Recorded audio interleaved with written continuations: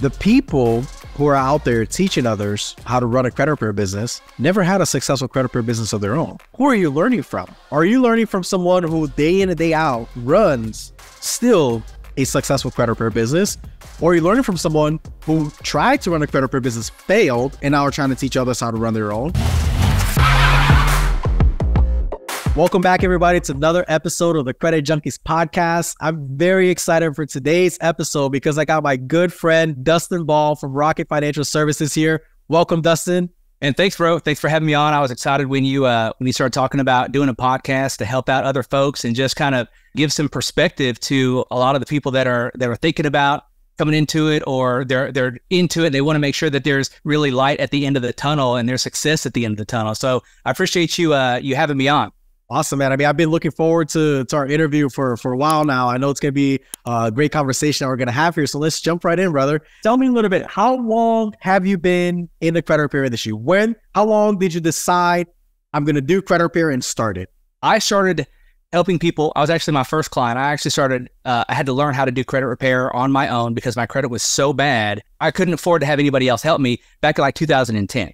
Right. And um, so I was kind of helping folks out and just just total side gig, not taking any money, friends, friends of family, you know, that sort of thing that just needed some help. Mm-hmm. And I was able to kind of slow drip a kind of my own education, you know, learn a little bit here and there, implementing, learning a little bit more. And um, it was in August 31st of, no, something like that, like the last day of August in 2020. I, um, it was smack dab in the middle of the pandemic. I was working as a at the time I was I was full time recruiting surgeons for hospitals. Right, that was my job, and I'm sure you remember at the time in, in smack in the middle of COVID, no one was doing any kind of elective surgeries.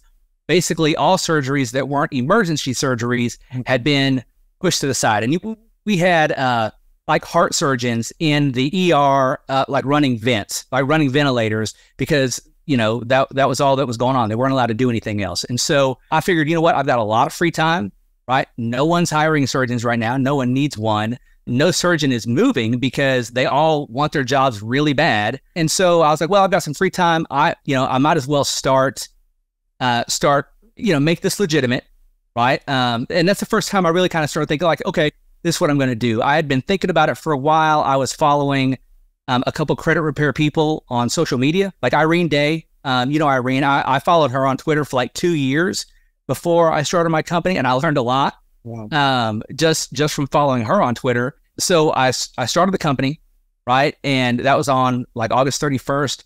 On September 6th, it was, I believe it was a Tuesday after Memorial Day. Um, I came back. My my supervisor had found out that I had started a company because I'd started doing like videos and things like that, yeah. and they fired me. Wow. Yeah, and so I, I mean, and it was like, hey, it's a it's a handbook, employee handbook violation to to seek secondary employment, which I mean was total BS because like this one guy over here, like he's a DJ on the side, and yeah, you know, um, but it was it was just a bad a bad time in the industry, and so I had to sit there. Um, I think I told you the story. I had to sit there and wait for Allie, who my girlfriend at the time. We're now married. I had to sit there and go, okay, you know, I've got to tell her that I lost my job. I sat there. I sat there. I was at her her apartment, um, sitting there like waiting for her. And um, I had just started the company, and I, my only two choices really were either go and try to find another job doing what I do, which was which is recruit surgeons in a down market where no one's hiring surgeons. Pandemic, right? right? Um, or I could two weeks, maybe three weeks, kind of give this a push, give credit repair a push, and see what I can do. I see what I can make shake. And like I give this advice to people and it's bad advice, right? It's truly bad advice, but I always let them know. I always say like, hey, if you want to succeed, like quit your job. Yep. Quit your job. Right. And I don't actually recommend that for anybody, but it goes to the mentality because I did everything the legal way. Right. So I bought the like I bought the CRC masterclass, you know, which gave me six months and I got it because it gave me six months of software. So I didn't have to worry about it uh, did the LLC, got all my licenses, got my bonds and things like that. And, and I spent a chunk doing that. Like you can, you got to, you know, to do it right, you can really spend a chunk. And I'm thankful that I did it because had I not done that, um, I had like, man, six weeks of bills. Yeah. Uh, like six weeks of bill money left. right? It wasn't the wisest decision. It was, you know, it was, I mean, I'm, I'm working a commission job. And so, you know, it was six weeks of, of bills left after that. And had I not done that, had I not, you know, just ponied up all before I got fired, I wouldn't have done it afterwards.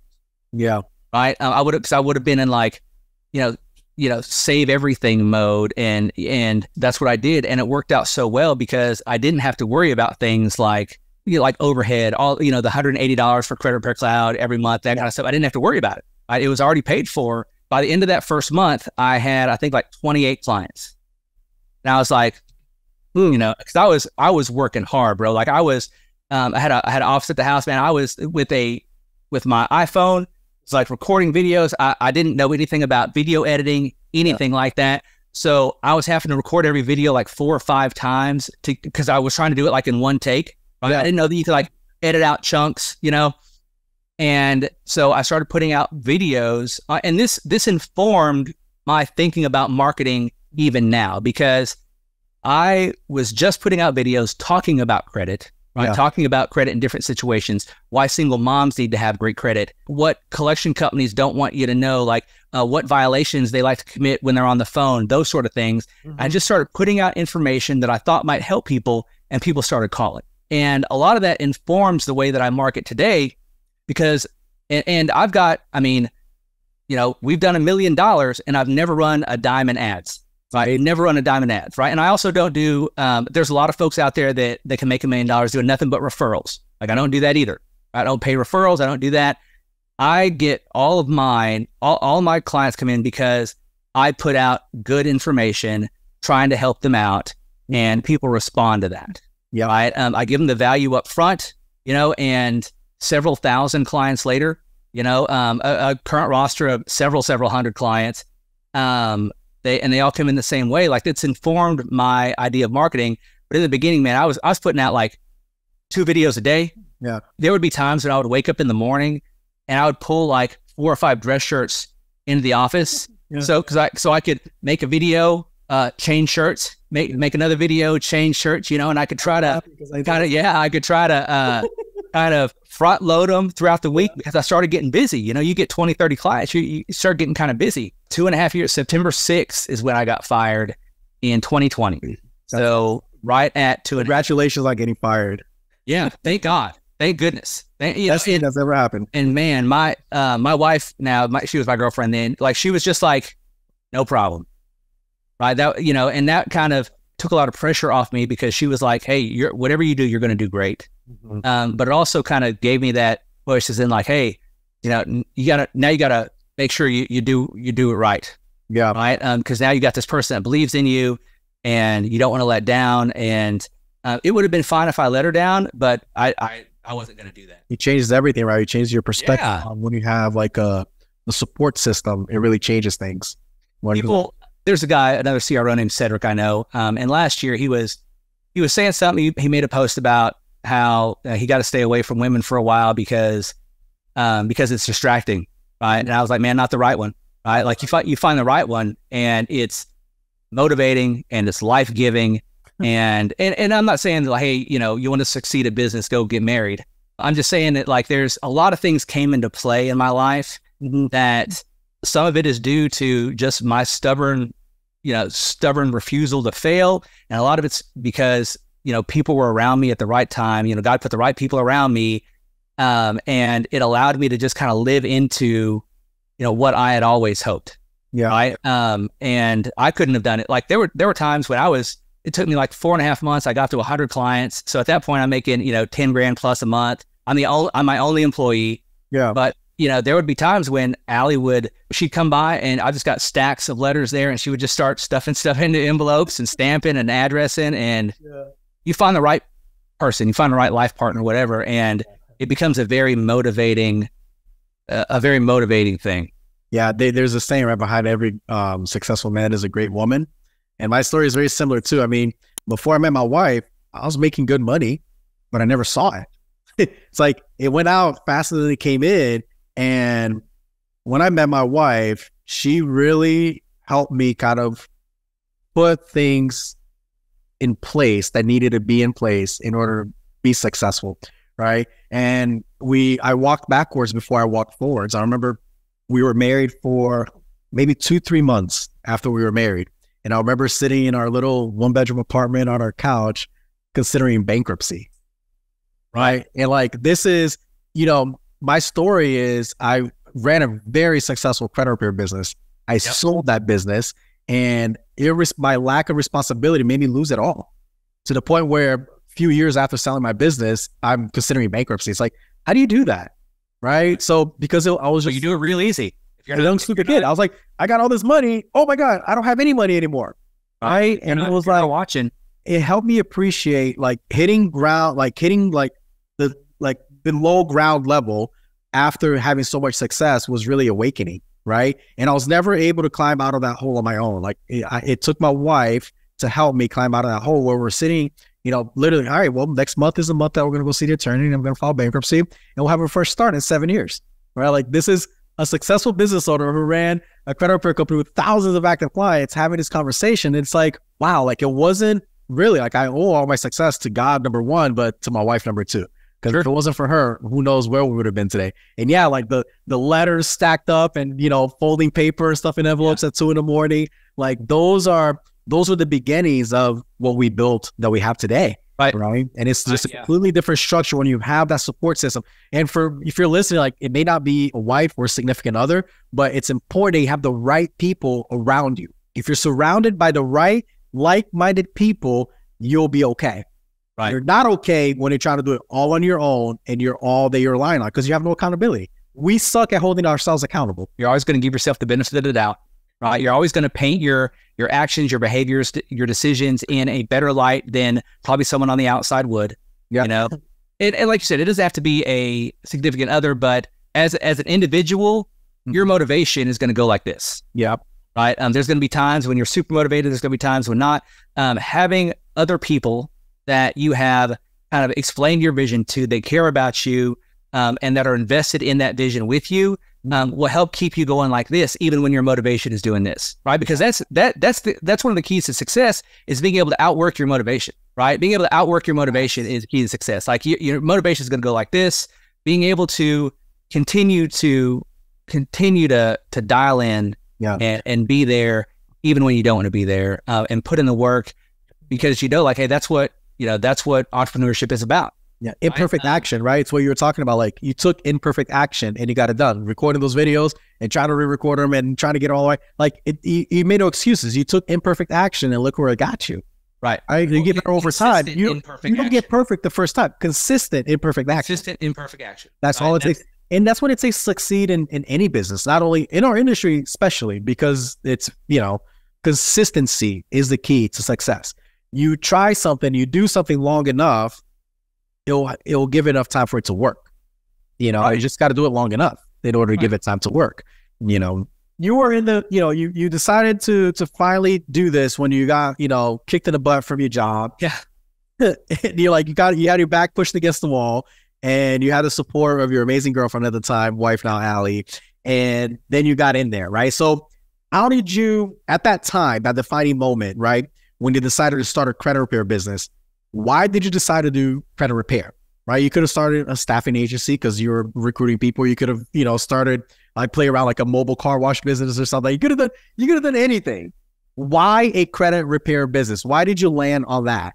A lot of reasons. One, because it was something that I, I had already kind of invested in learning how to do, right? I had to do it on myself. I had to do it on on family members, um, uh, some friends. So I was already familiar with it. The barrier of entry is relatively low right? To be and, and, that's just to be to be real honest, right? Like yeah. the barrier of entry is really low. Like you don't have to.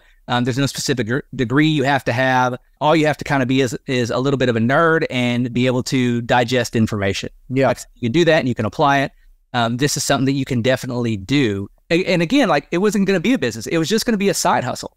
Right? I was like, hey, I, I've got some free time, but if I'm taking money for it, which that that was the goal, is like if I'm going to take some money for it, um, I listen, I don't want to um, I'm not asking for any problems with the IRS, with yeah. the government, any of that. So I might as well go ahead and make it legal, right? I never intended for it to become a million dollar company. Right? I never intended it to, you know, to sit here and look at oh 775 clients this morning, right? Like I never intended anything like that to happen. Um, so it was something that I was familiar with. And and then like just to be quite frank, right? When you start thinking about it, you start seeing and you start like Googling credit repair and and starting a credit repair company, what pops up? Right? Immediately starting in your feed for the next year and a half it's going to be, you know, um, a lot of the credit repair softwares and things like that. And the truth is, is that, you know, I, I walked on webinars, kind of looking at it and I'm like, okay, I know it's going to be harder than this. Yeah. But, but I do believe this is something that I can do. Mm-hmm. Right. And so when it happened, I was like, hell, I might as well lean in now, you know, and, um, but there was a lot that I did not know in the beginning that I had to learn. And there's a lot that you don't know that you don't know. Yeah. Right. Um, like clients aren't just falling out of trees and, you know, no matter what anyone tells you, you're not just going to be bumping into people on the corner that are asking you about your credit repair T-shirt and can you help them out? Your That's car not magnets aren't going to work. Yeah, that's, highway. that's just not happening. Live in yeah. LA. Mm. Uh, yeah, that's not happening at all. Um, you know, so there's a lot that there's a lot that I didn't know. There's a lot that I've had to learn. But that's that's the other key is being willing to say, hey, there's a ton that I don't know. Mm-hmm. Right? There's a ton that I don't know.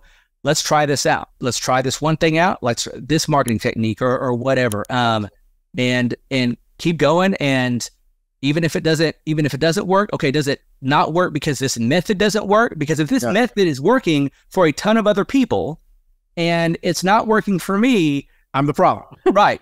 Uh, so can I tweak it somehow? Can I, um, or you know, if I I'm not good at doing this one type of thing, is there a way that I can?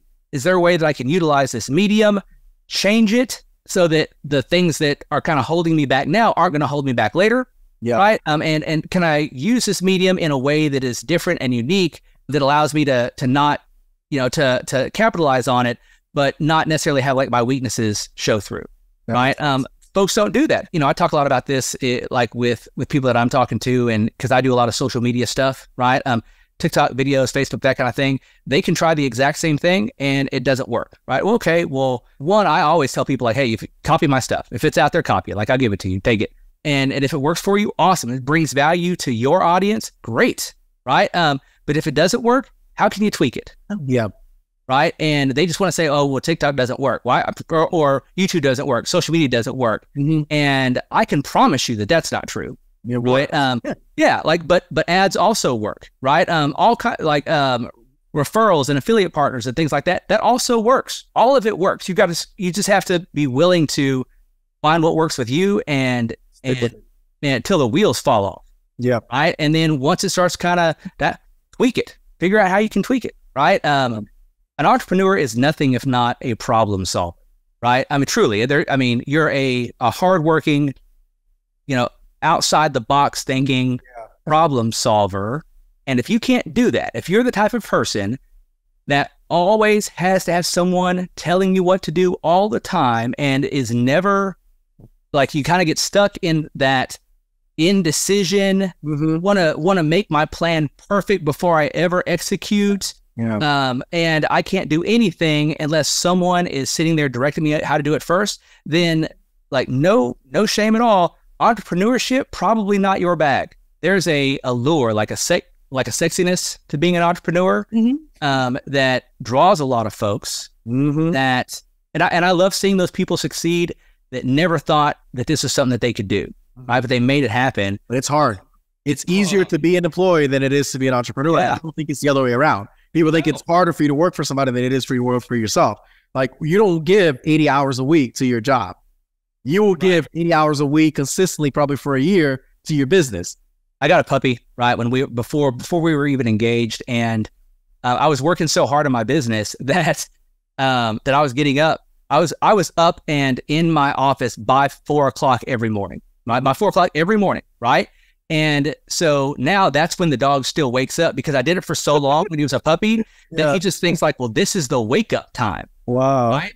um, and now I don't have to do that so much anymore. But like that's, I mean, it was it was all the time, laying in at, at bed at night, right? On still on the phone, kind of. You're glued to your phone, you're glued to your Apple Watch, that kind of thing. It's you can't uh, sleep and you're just putting in notes on your phone for you to Right. do things tomorrow at bedtime. right. Um, I'm an entrepreneur. yeah, you know, I love the oh, you can kind of build it from nothing. I don't necessarily believe that because Yeah. you can't like just build it from nothing. You've got to have got to have at least a little money, and you have to have a lot Plan. here. Yeah. Right. You've got to like you can't build it with no plan, no heart, no drive, no ambition. You can't build anything that way, right? Yeah. But even if you are able to sort of bootstrap it, um, then you can't you can't even do that without something here. Like true. whatever, trust me, you're bringing something with you, and you're you're giving something up in order to do that. It's not from nothing. Yeah. You know, um, there there's sacrifice and there's hard work and yeah, and there is like planning and humbling yourself because you're gonna think that you're way up here one bad month, and then you know now you're like, I, hey, I need a I need a couple hundred bucks just to kind of get through, you know, that sort of thing. Like I've seen it happen all the time. Right? How did you uh, learn to start your credit repair business? Like, how did you know what to do and what to do next? Like, how did you get direction, guidance? How did you learn to get this done? I will be very perfectly honest and say that Google and YouTube are free, honestly, right? And so while it's not going to dig down into like the the deep deep parts of like the consumer laws, it, you can get a really solid base of um, basic understanding um, just from free resources Yeah. right? Just from free resources. Like it'll it'll get you kind of started, get you going. Then obviously after that, like I've taken several mentorship courses, right? Um, I've taken several multi-hundred, multi-thousand dollar course as as I was going, right? It's a business investment. Um, and that's one of the things that I think that people also stop doing is they they stop once they hit any sort of level of success. And it's always going to be right around that like somewhere between like 50, 60 and like a 100 client mark. Because if you start pulling in, you know, 10 grand a month, you're making over six figures a year, like you think you freaking made it. Yeah. I like you think you made it, you know? Um, and like, like I processed, you know, 50 clients today. You know what I'm saying? Like, eh, Yeah. you know, and, but you get to that point, you start, you like, so, because here's the thing is like now you're comfortable, Mhm. right? You start thinking about like, man, I could get a bigger apartment, right? Um, I, you start eyeballing that, uh, that truck you wanted or, or whatever, right? And you, you kind of start because at, you know, at, at five or six, maybe $7,000 a month, I mean, almost guaranteed your lifestyle is better than it was before, Yeah. right? For, for 99% of the people in America right now, Yeah. six thousand dollars a month is it, like it's, it's way more is more than they're making, right? So Yeah. you're working from home, it's in your spare time, and that's the point where people once they stop, once they're no longer uncomfortable, Mm-hmm. right? Uh, they the motivation that they put into it in the beginning starts to go way like this, and so they stop learning, they stop doing that. I think one of the keys to my success is I just didn't do that. Right? I always want to know more Yeah. right? Um, I always want to learn. Well, how can I, um, how can I do this better? Right? Um, I want to know different techniques. I like if someone puts out a course, I buy it. Mhm. Right? I want, I want to see. I want to see what other, what other people um, that are successful in the industry are doing. Right? Um, it's not a. I'm not. I'm not proud. Right now, there's there have been some times that I've gotten something. I'm like, man, this dude's full of crap. Right? After I after I read it, I'm like, you ain't you ain't try. You don't know nothing Yeah. uh, or you don't know, or even though you have this paid, you're not trying to put any information in it, right? You're still trying to gatekeep. But if it's something out there, and I respect you as a person, like I could, you know, and I've, I, I'm kind of familiar with who you are, or you know, whatever, I'm, I'm going to buy your stuff, right? I continue to learn, you know. So it was, I had to start on my own, right? Back in 2010, I had like a like a 380 credit score. It was so bad. It was like so. t- Still to this day, whenever we're doing like a consultation or whatever, I don't, I can't, I can't honestly recall anyone that has ever had a lower credit score Yeah. than what I started with. Right. And so I had to learn from scratch. I had, you know, back then, like when I was younger, I was a bartender, so I always had cash. And so, um, you know, I had a lot of income, like credit cards coming in and stuff like that. And a lot of times you could be ignorant about credit and finances, but you you don't necessarily see it on the outside because you always have cash coming in. Yeah. And that's kind of where I was. And so I started getting turned down for apartments and turned down for cars and, and stuff like that. Um, then it was just, I had to start learning kind of on my own. Right. And to this day, I'll be doing a consultation and people are embarrassed to show me, oh, I, I don't want you to see my credit score. It's like a 575. Like, man, like, man, like I remember how proud I was to claw my way up to a 575 Yeah. but like the information is there if people want to people want to invest and i now that that said like even just two and a half years ago the information that's out there on like youtube and google and things like that is vastly different than it was two and a half years ago right Yeah. because now you got a bunch of bs on social media right and maybe I didn't necessarily recognize as as you know well two and a half years ago as I do now. Um, but for the most part, I got more solid information back then than what's out there now. That's tricky, right? How do you know? Like when you don't know what you Right. don't know, how do you know that the information you're getting from this guy on YouTube versus that girl, which one is right, which one is wrong? Are they both right? Like you don't know what you don't know, right? I think that Right. that goes back to having that community of like-minded people, Right. who Right. are in there. And it's like for our listeners, like if you don't know, Dustin actually has a Facebook group called Mm-hmm. Blast Off Compliance, right? Yeah. yeah. Well, look it up. That's a good community for you to be a part of if you want to be around other like-minded people. And there's all kinds of people in there. There are people making eight figures, and there are people making eight dollars, right, Right. in that group. So you can fi- find yourself in between and learn and grow with people in there. And it's so important because that's the only way you can really know. How do you how do you know if the information is accurate or not? You got to have That was, and a lot of it, I think, is just again, it's kind of being just being humble enough to being willing to put yourself in a situation that you're around other people that know more than you, and then just shutting up. Yeah. If just shut up and listen. You know, hey, um, I think so. My first, my first real mentor was Ebony Dubois, who's still, um, who's still one of my my greatest friends. I love her to death, and she has forgotten more about credit repair than most people will ever know. Right. And I learned so much because I was willing to pay.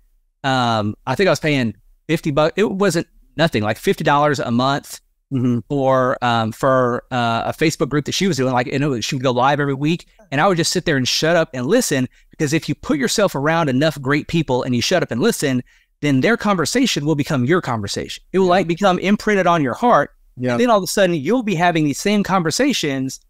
It like like you came up with the knowledge, right? Like Right. you know, um. So that was a big deal for me. Is just being able to put myself in a situation where I'm just going to be here and and shut up.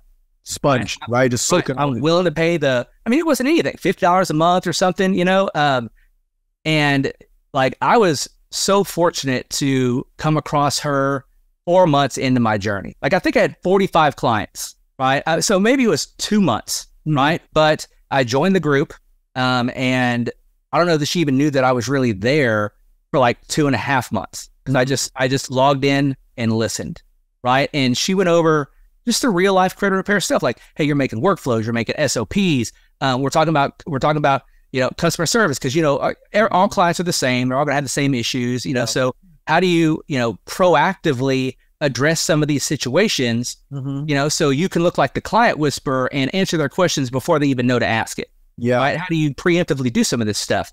And that kind of opened me up to like, you know, there's there's larger mentors out there that are people that have been doing this for, you know, for years and years. And if you are humble enough to just sometimes just ask for help, not and here's the, and I do this too, like I don't like people that want the answer given to them.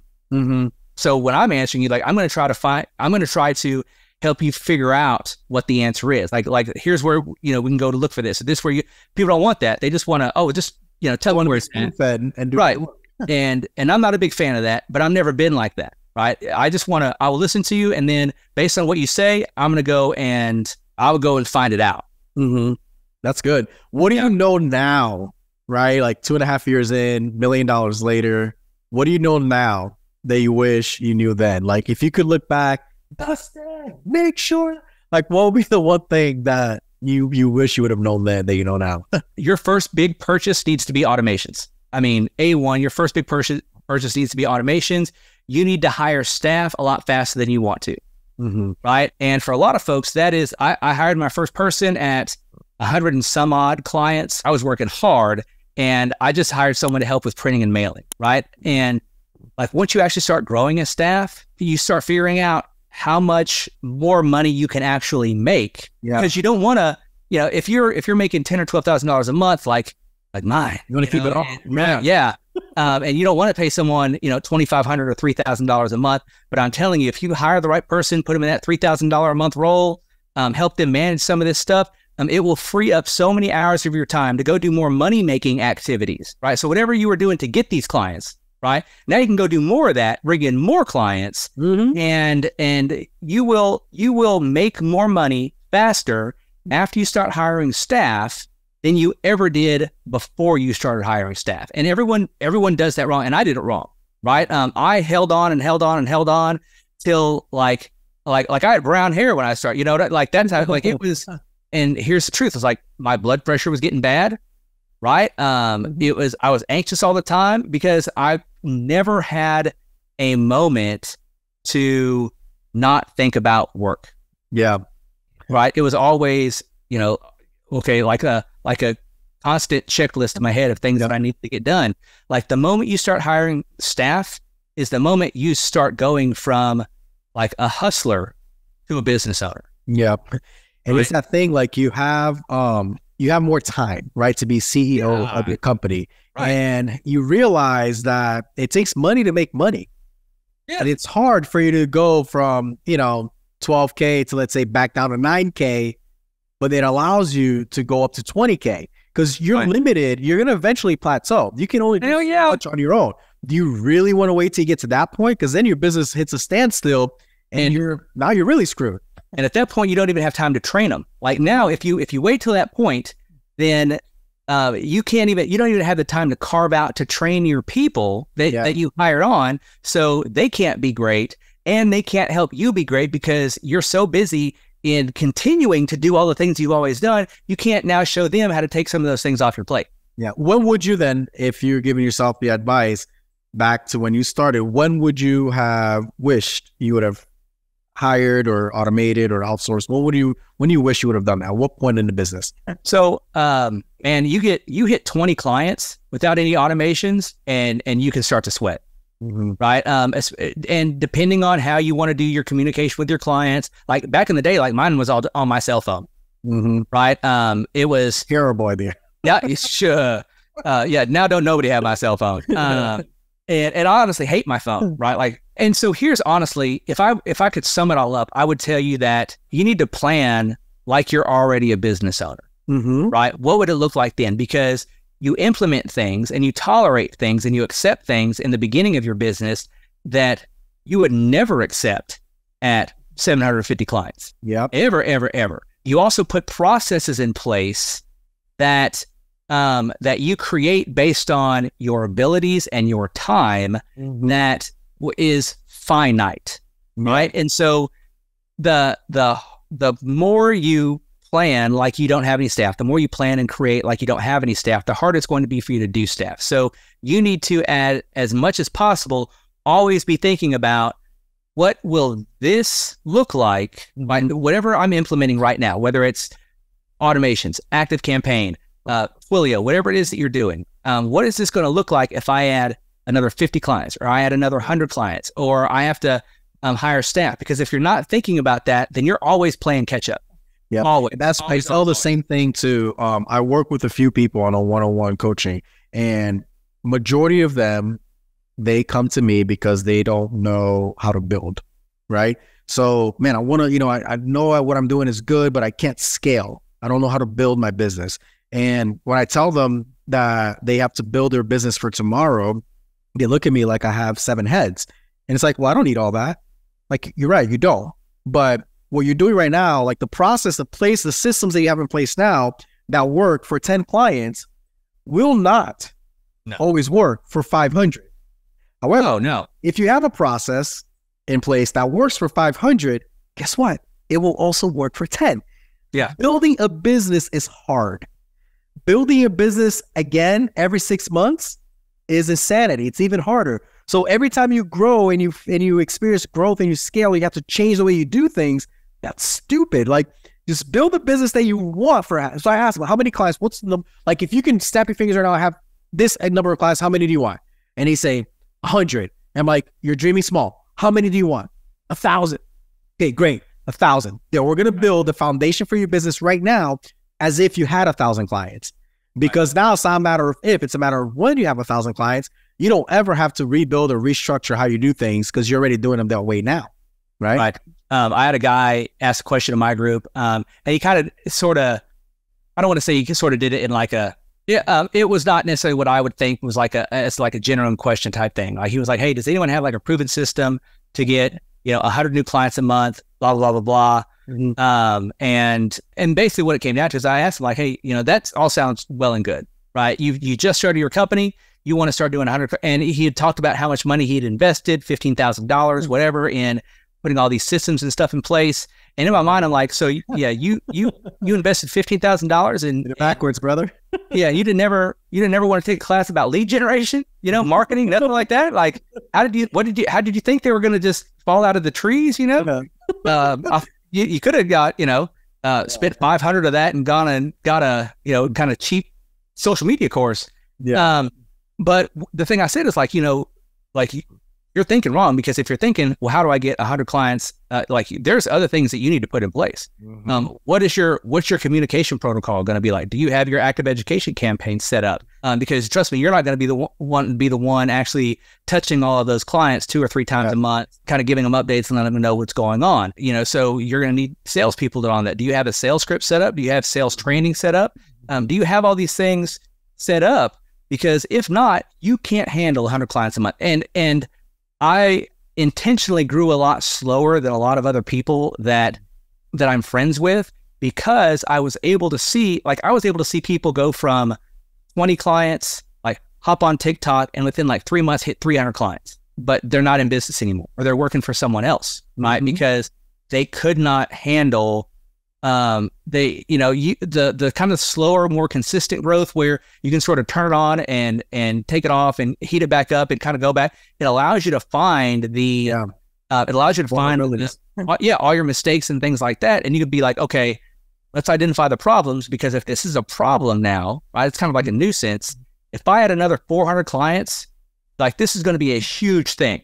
right? This this one little nuisance problem is going to be a huge thing mm-hmm. so I grew slower than I probably could have, but I always paid attention, always tweaking, always changing, like, you know, shifting processes and things like that because I wanted to be as efficient as possible. Like the goal as you're growing, everyone, you should probably hear this. Like when you are creating your systems, the goal is to make them so streamlined and so efficient that no matter how many clients you grow you grow to, all you have to do is drop another person in to take a role and, and train them in that role. Right? That, that's the goal right? Um, machine. Get, right, right. That's machine. Like create your processes to be so streamlined, so efficient, and so repeatable that um, no matter who you drop in there, if you get to the point where you have to add another staff person, you just drop the staff person in. Um, hopefully, before you absolutely have to, you train them, and then they can just continue on with the process, and everything runs like it should, right? Um, and when you don't do that, when you're not constantly trying to identify,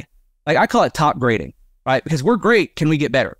This is a, a small problem for you've got 500 clients, 40 of these clients is a problem, right? Yeah. If you scale up to a thousand clients, now you've got 80 clients banging on your your uh, email and, and yep. blowing up your phone two or three times a week because you didn't handle it then. That's true.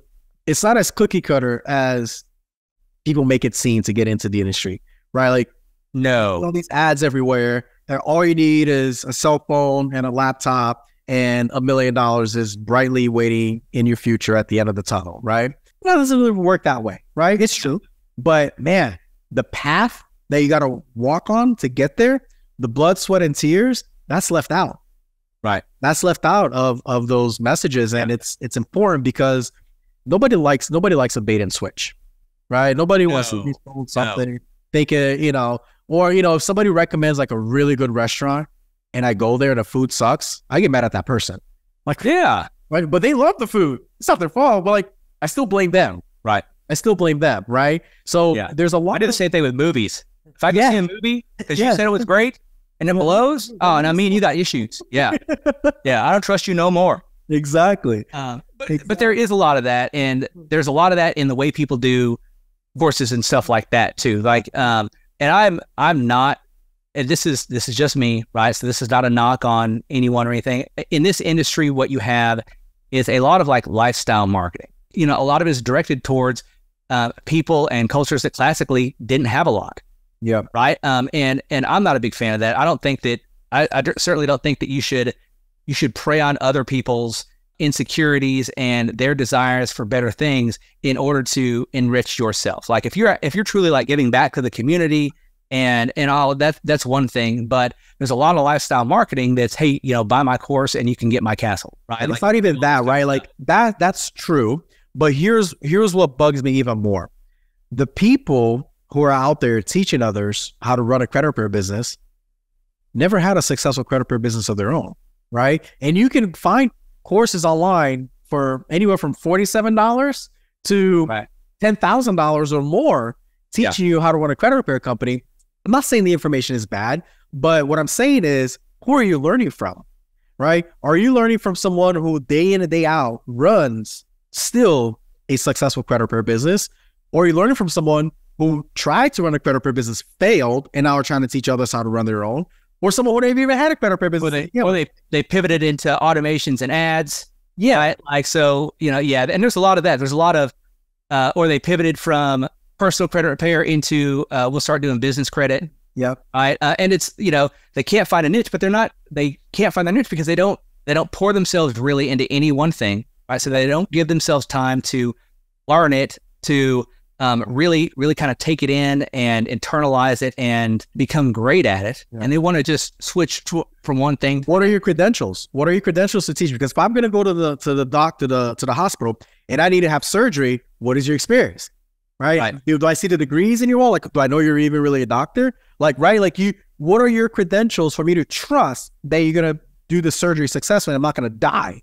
Right. What are your credentials that I'm going to invest this money and I'm really going to learn how to get my business up and running and be successful? What are your credentials that prove to me that I can trust you in doing that? Right. Right. So that's the major thing. I think there's a lot. The whole reason why I wanted to start this podcast in the first place is because I want to make sure if anybody's even thinking about getting into the credit repair industry, that they know all the bad and ugly stuff about it before they get in. And not only the good, shiny, happy feelings, unicorns, and rainbows about it. Because you got to make an informed decision. It is not easy. You have to know the Right. good, the bad, and the ugly in order to know what you're getting yourself into because you don't want to feel like you're to blame. Well, I think that one of the things that you talked about earlier is that that kind of being a part of a community that um, is going to be edifying and is going to try to uh, knock out any BS or anything like that. Because there are, um, and this is one of the things that I've had to learn is that there are a bunch of like I use the term vultures. I don't mean it in the way that it sounds, but there's a lot of people that like circle around Mm-hmm. um, like the periphery of the credit repair industry and kind of prey on new CROs coming in, right? Yeah. Someone I started having uh, like like you know influencers and things like that when I started when when Daniel started saying, oh hey, you know Dustin made you know Dustin you know this put me in a commercial. This is Dustin. He did you know join the the what is it the the challenge thing and Mhm. you can be like Dustin who did hundred thousand dollars in his first um, in his first X out right um hit hit hundred clients in this many months and, and so now he's bringing in eleven thousand dollars a month blah blah blah blah blah Wow. immediately I had people start like blowing up my DMs like Mm-hmm. I've heard of you right I kind of know who you are but um, now you want thirty five hundred dollars of my money and you want forty five hundred dollars of my money and uh, then there's other people that just kind of provide uh like a credit repair sort of service like a Mm-hmm. uh, you know, something that you may want to add to your business. Here's an additional income stream, blah, blah, blah, blah, blah. And there's a lot of folks that, that here's the, what I figured out about sales is that all you really need to know about sales is 10% more than the person you're talking to. Right? Because if you know 10% more than the person you're talking to, then you can maybe tell them some things that they don't know, and all of a sudden they think you know something, right? And and I've seen a lot of people get sucked into some of those companies, people that surround credit repair, the credit repair industry, and prey on those people that you know, and it turned out to like the the product is just crap. Yeah. I, And the uh, secret to marketing is is very easy. It's very simple, and it shouldn't be a secret at all. You give away more than you expect to take back, Right. Because it's a law of attraction, right? Like I want my free stuff to be better than other people's paid stuff, Right. And that's the secret to marketing.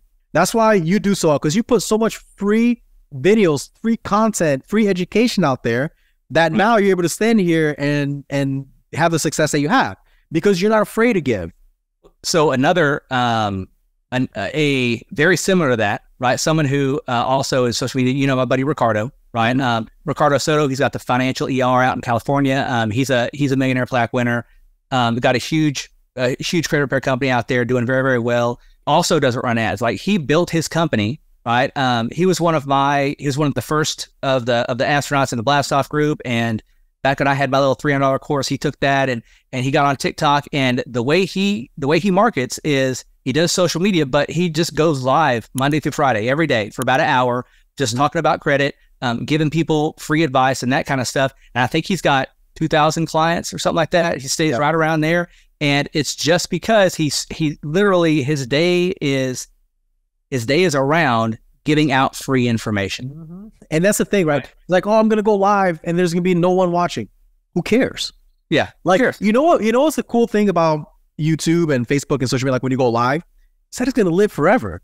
Like yeah. nobody may have watched it live, but it's on your page. It's on right. your YouTube channel. Eventually people are gonna start watching. So who cares?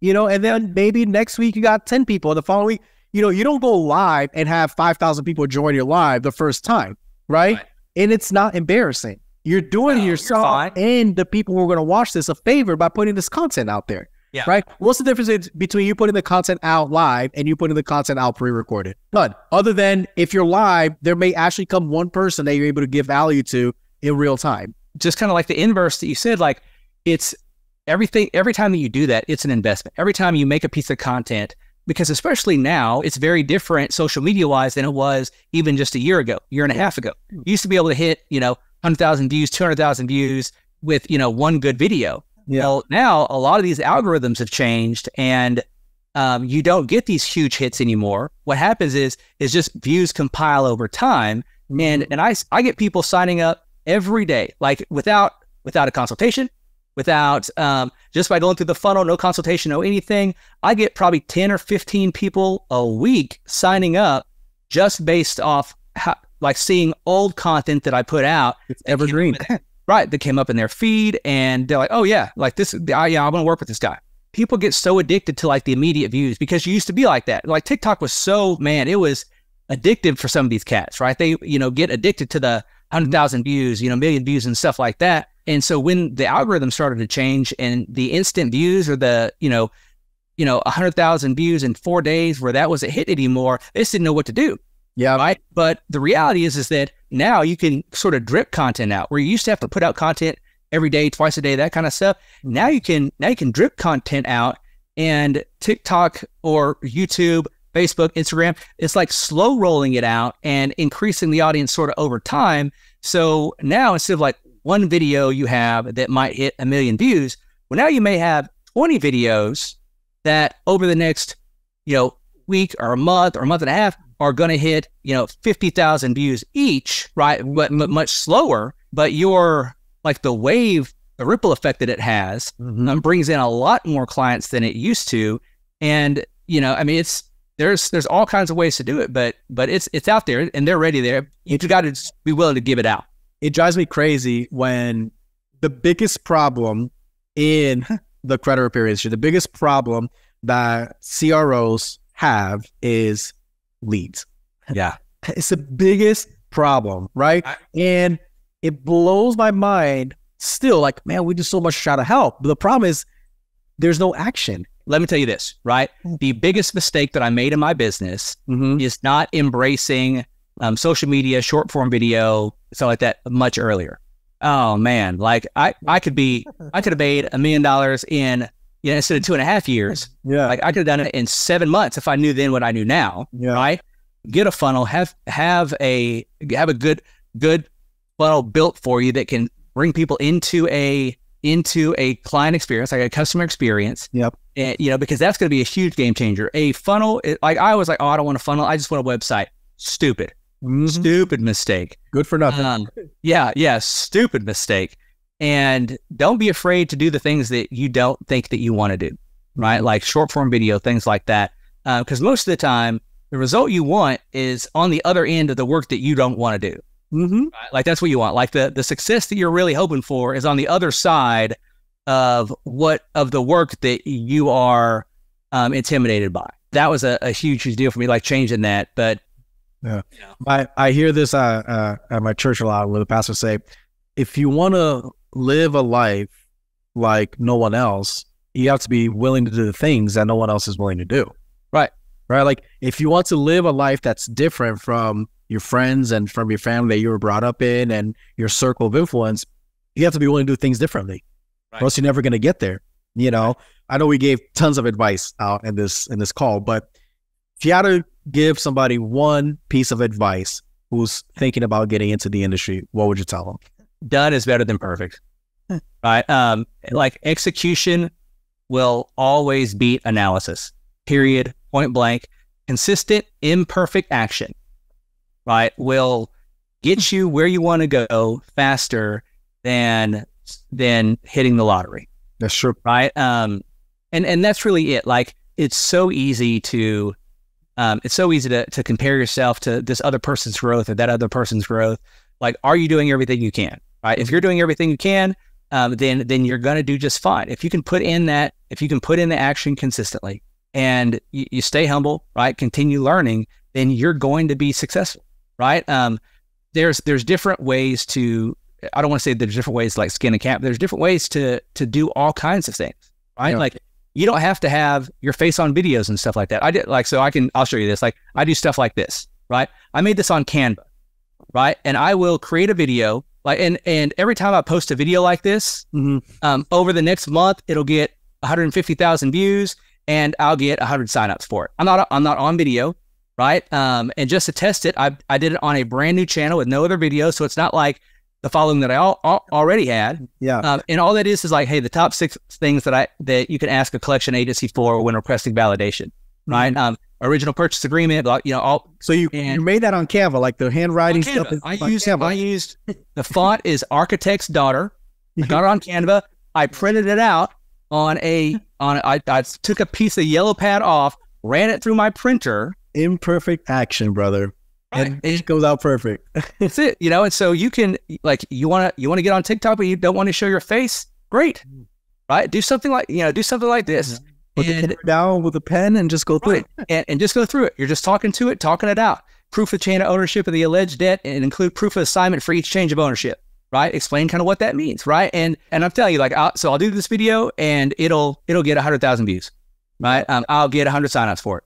Yeah. You know, um, it's so just do it. Your advice is whatever it. it is, just do it. Is there something that you could do that you haven't done yet? Just do it. What's the worst that can happen? You'll be in the same situation that you are now. You're not gonna die, right? The worst that can happen is nothing, which is pretty right. bad if nothing happens. But that's the worst. And again, like I, so I've got a before we go, like I, have got a friend named Jonathan. Um, you know, I'm talking Jonathan, uh, who runs Sherpa Credit up in New York. Mm-hmm. I was trying to kind of coach him through TikTok, and let me tell you, like when he started putting out TikToks, like in videos, uh, social media stuff, it was the worst homeliest, like like God, all like back. I mean, and it reminded me of like my first videos, right? Yeah. Like, oh, I'm looking back at them now, like zero production value, horrible lighting, you know, and zero views. He would go live, zero views, nothing, right? You look back at his TikTok or social media, like his first 50 videos, like have less than 100 views. Yeah. Right? 50 videos, less than 100 views. He was doing like four or five a week. Yeah. Right. Um, sometimes two or three a day.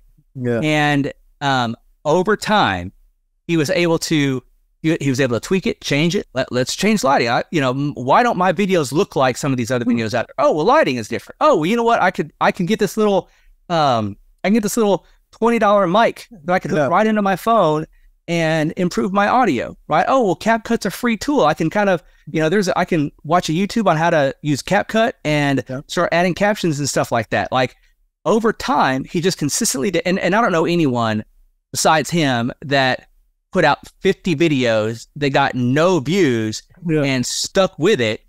Um, but now his videos are some of the some like some of the cleanest, best content, best best content packaging. Right? Um, he puts out real information, yeah. and um, and over time, like the leads started to come in, the consultations started to come in, and he was able to build his company that that way. But like he is a he's one of those people that was just like, listen, this is path I've chosen.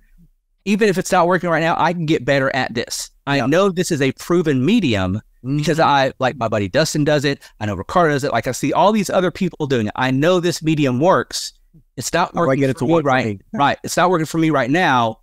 How do I make that work? Last piece of advice, guys. Whatever you do, man, surround yourself with good people. Mm-hmm. Right. Um, and I'm talking like at home and on the internet and in the communities that you get involved in um, inside the industry, inside your, your oikos, right? Your sphere. Surround yourself with good people and be a good person, right? Be a good person, get surrounded by good people, pour into others and be humble enough to let others pour into you.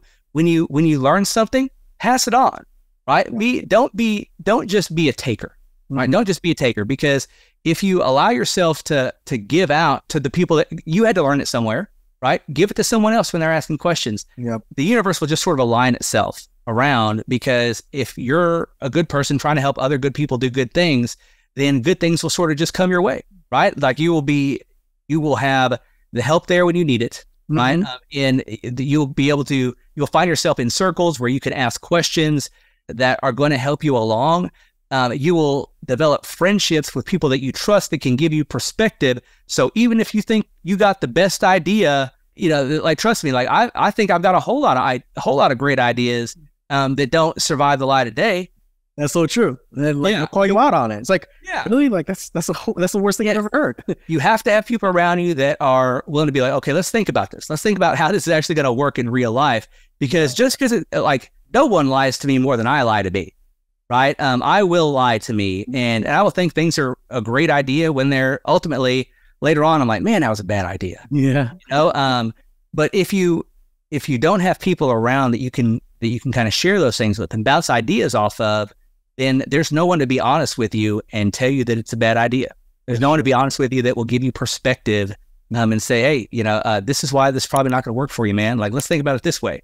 Um, or go ahead and try it, but be on the lookout for this. Mm-hmm. because this is going to kind of signal that this is not going to go good for you. Goes back to having that tribe, right? Having that tribe. Yeah. And it's important. Be surrounded. Yeah. Don't be so damn competitive. Don't be competing with everybody. Right? No, no. yeah, yeah. No one's out here trying to take your lunch money. Right? You don't got to gatekeep all everything. Like help folks out, and like the more you help others out, trust me, the more people will help you out. Yeah, people are free to give yeah. because they feel yeah. like they won't have any left. And it's like no, like you give and, and frees up room in your cup. Exactly. Exactly. You got it. Right. Without doubt. Pour out. It's gonna. It now you've got some room where someone else can give you something that you didn't have or that you desperately need. Times too. It's not learning something new. It's being reminded of things that you already know. Yes. right. Yep. Like yep. learning all this new information is great, but you got to apply it. And in order right. for you to apply, you got to be reminded of the things that you already know. And that's where that community comes in. Like you see somebody mention something you already know, but you forgot. Like, yeah, oh, yeah I, I should be doing that. And then that can be the, the game changer for your business. And I'm not saying like, man, spend all your time, you know, online or in groups or anything like that. You know, if you've got questions, right, kind of kind of look around and find someone that looks like they're trusted, that mm-hmm. doesn't seem so scammy. Like if something seems too good to be true, that shit probably is. Trust your gut. It's not. Yeah. Find the humble people that are willing to they're willing to help out. That aren't asking you to buy different. You know, all the all, all everything. Everyone's got all this kind of stuff that you can buy. Um, you don't got to do that. Like if the right community will answer your question in most of the time. Yeah. Right. So um, be wary because there are a lot of folks out there, but um, but don't let it make it make you cynical and non-trusting because you will miss out on a lot of great relationships. Um, there were like there were seven credit repair people that came to my wedding. Uh-huh. came to my came to my wedding. You know what I'm saying? Like that that yeah. those are um, those are friendships that that you know you miss that yeah that you miss out on if you're just always taking. Great advice, man. This was awesome. Great, great conversation. Um, yeah, man. I know that it's going to be a lot of um, valuable information for whoever is watching or listening. Just do yourself a favor. Don't stop. Right. Keep going. Right. Yeah. And surround yourself with the right uh, community, with the right like-minded people to push you when you need to push, and just do it. Right. Like Nike. Yeah. Just do it. Just continue doing the things like if if someone has the formula, like if this is the formula, you've seen all these other people be successful. Like trust me, you can do this. Yeah. Right. Um. You have to you have to put in the work right? Um, it's not it's not like baking cookies where you can follow an exact recipe. Like you got to put in the work, you know. But whatever it is, success is waiting on the other side of that. Like if you will just put in the work.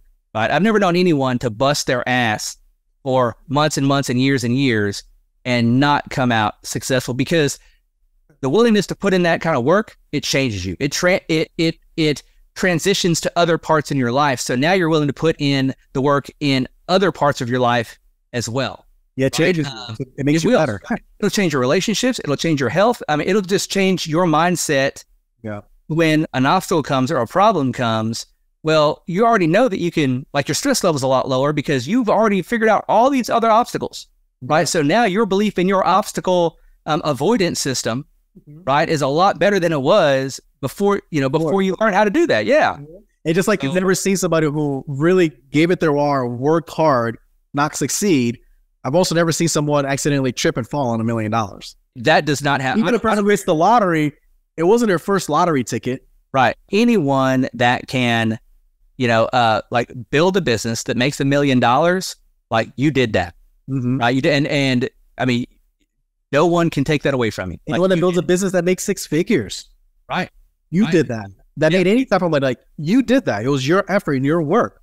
Yeah. There's always a new step, right? Like you can always get like, are you satisfied with where you are?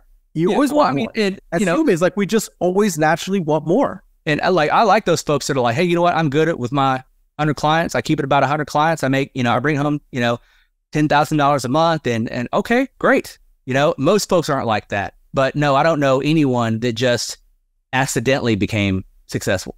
Right? You might have accidentally stumbled into into credit repair or into entrepreneurship, kind of like I did. Right? You get a violent shove into entrepreneurship, Yeah. but like every moment after that was that was Intentional. plan. It was hard work. It yeah, it was there was effort there. Right? I didn't continue just to fall and you know find myself with a six or seven figure bank account. Like that doesn't happen. no, it doesn't. Yeah. That's awesome, man. Thank you so much for taking the time to sit down with me and have this awesome conversation. What's next? What's your next goal for you right now? Because when you hit that goal, we'll bring you back and we'll talk about that journey. we've talked about this several times. Like I've got the software coming out that I that I think is going to revolutionize what what we believe like the floor of a credit repair software is. Yep. Right. Um, because right now there's a lot of softwares out there that um, you know, what we we would consider maybe 35 or 40 percent. Right. That's what it does. It's 35 or 40 percent of your job, and none of them, none of these softwares are done by people that actually work in this industry. And so I've been able to work with a lot of uh, work with and get counsel from a lot of very very large credit repair companies um, that that I trust, and I've been able to talk to a lot. And you know, it was only two and a half years ago for me, so I still remember what it was like as a you know like a youngling credit repair company coming just coming in, and um, I'm the software that's coming out is going to be one of those types of things that no matter who you are on that spectrum, um, it's going to be able to help out your business, right? And so that's the next big goal is to uh, is to have that out, right? And then it's going to get super busy with a bunch of support and onboarding and all those kind of things because I think that what I tried to do was create the software that everyone had hoped existed Mm-hmm. for a long time and have it very seamlessly integrate all the features that we that we had hoped that our current software or the software that we used before our current software Mm-hmm. um, have it have the features that all of those things um, can do. It's built from from basically the the brainchild of all the successful CROs I know. Right, um, everything that I thought of that I thought was a great idea, like I ran it by other people that I trusted, and most of the time, eh, man, that is a great idea. I can't believe the software doesn't have that. Um, there's other times like, man, that is some BS, and you're gonna waste, like, you know, it's Yeah. not gonna work, and this is why. And so again being humble and trying to trying to okay that's a good you know good point we've kind of created something we've got something that i think is going to be awesome and it's going to in terms of both customer service in terms of how people create disputes um, in terms of um, the the the peripheral relationships between CROs and outsourcers and all these kind and how those can communicate um, all very seamlessly into one platform um, without giving away too much. I know because I know we'll do another Yep. another talk then, but I think it's going to be awesome. It's been a year now in the making since CreditCon last year, which should tell you like how much you know how much it morphed and, and changed since then. That that um, and and you know this last year was my largest year revenue wise, and you know when you when you make six or seven hundred thousand dollars in a year, like your perspective of what a business software needs is going to be different than when you're only making hundred thousand dollars a year. That's very true. Very very different. A lot of the changes, a lot of the stuff have been born out of uh, just my growth and what what has gone on in my company and changes in the industry. Right? Um, there's a lot of things that are in the industry now, uh, like arbitration and things like that, that were not necessarily even a thing. Uh, certainly not as popular as they are now a year ago. Yeah. And the software is going to be able to do all of that. However you like to process, however however you want to run your company, this is truly the software that works for you instead of the other way around, where you are Yeah. where you are at the mercy of the way the software works. Because I've designed it to be very intuitive, but also eminently editable by the by the CRO. Um, and and that's honestly more for like the veterans that are coming in that already know exactly how they want to do things, right? Um, well, now you can do it. You can do everything you want to do. It's just easier now, right? And so you can create like little pathways for yourself that make everything that you already were doing easier. So it's not just for the like the rookie CROs. It's going to be for the the veterans and the seasoned people that that have been doing this for a while, been down in the trenches, and they know what works for them, and they don't need another software telling them what to do. It's great. I can't wait. I'm really looking forward to it. I know it's gonna put an earthquake into the the industry in a good way, and um, I'm excited. So when we have that out, we'll bring you back and talk about that that experience of what it's been like. All right, yeah, we'll do that. We'll do that one in person. Yeah, yeah, we'll do that one in person. that one's gonna be a that one's gonna be that was gonna be big. So, uh, man, I appreciate it, and thank you. Uh, not only uh, uh, you guys back at home, Bruce has one of, been one of the guys who um, I've been able to bounce questions off of. Um, he has consistently, right, um, always given me honest answers, always taking time out of his uh, day to to answer questions and give perspective on on virtually anything, right? So just like he's helping you guys out, and you guys get to see the podcast, like he helped me out, and he, just like he helps other people out too. So, man, I appreciate you for for truly wanting the best for the industry overall, because yeah. a lot of people say that, but like you know, you'll know a tree by its fruit, right? Really, yeah.